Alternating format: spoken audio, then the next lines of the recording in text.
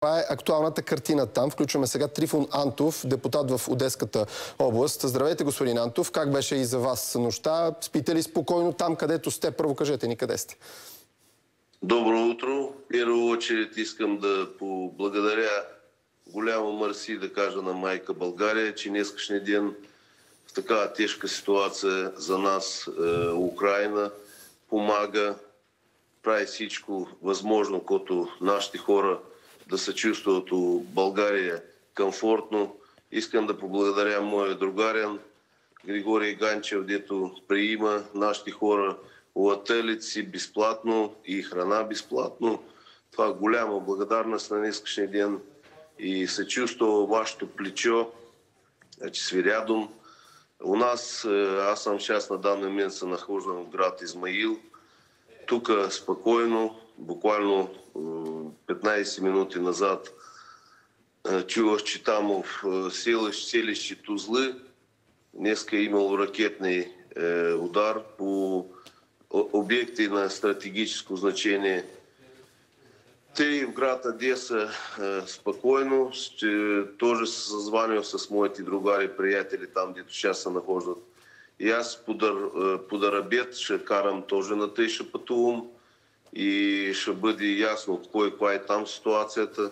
Тук на Бисарабията на данный момент тихо, спокойно. Много хора пътуват, пътуват, пътуват. Ни се запират да пътуват, големи пробки на, над границата. Мръдат на Европа, на България, на Румъния, на Молдова, де, който де вижда и там пътува.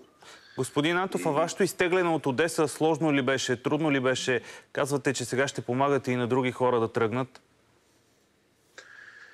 Да, от Одеса големи пробки на, на, на блокпостите. Много блокпосто има и големи пробки. От Одеса до, до Болград да се добереш трябва 6-8 часа. Като и на голям транспорт автобуси, то трябва часа 10 да, да пътуваш.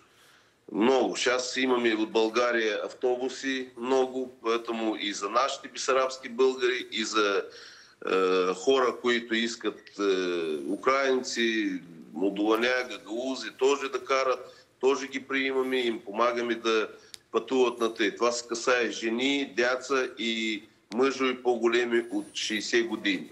Всички от 18 до 60 години не могат да излеят от е, страната, защото е, военно положение и има такъв указ, който да стоят, ще бъдат призвани у армията. Искам да кажа голямо съжаление, че днескашния ден уже два переговорни процеса минаха и ние на единия, ние на другия, двете страни, аз те и си мисля по моето видение, че не ще да се договарят о чем такото да се запре тази война и да стане мир.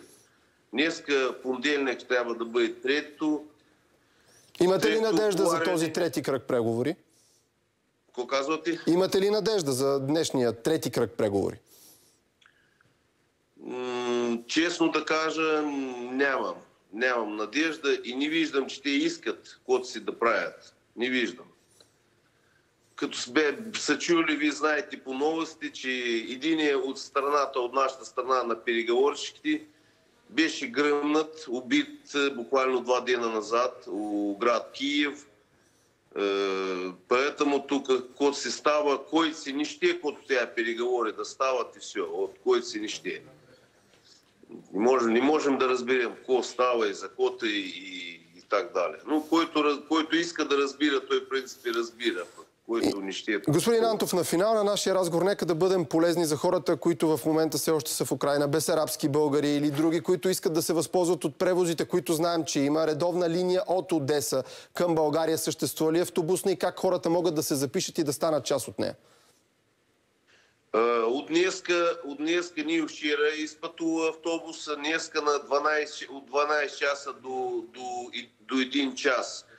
От град Болград до горсъвета, централния горсъвет, дето мърета, пътува автобус на 55 е, човека, е, пътува град Лович, там нашия приятел, е, много съм благодарен на него, Григорий Ганчев, ги посряшка, услуга си отел, безплатно проживание, безплатно питание и Такава работа. И как, ко- който му- е интересно да изляга на моята официалната страница в Facebook и там да пише меседжера, аз ще му го коректирам нага, има автобуси, има автобуси и на Варна. Много хора от България се по- по- подключават тоже и на Варна, и на София, и на Бургас и други разни града. Ние ще им казваме, га, има на колко време, има горяча линия до Болградския горсъвет и там всичкото казвам.